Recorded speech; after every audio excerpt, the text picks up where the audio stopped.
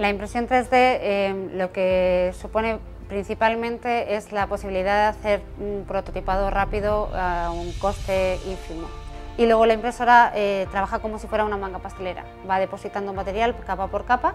y va eh, imprimiendo lo que tú has diseñado previamente en, en el ordenador o lo que tú te has descargado de internet.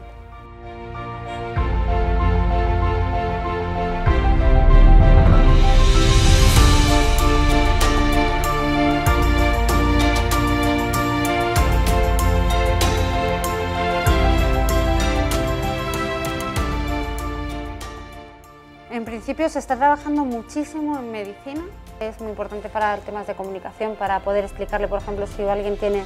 algún tipo de tumoración que tiene que operar, al paciente eh, les puede enseñar pues una pelvis con un tumor y decirle exactamente qué es lo que le van a hacer, qué incisiones van a hacer y, cómo van a arreglar esa, esa, esa parte del cuerpo que tiene que, tiene que operar.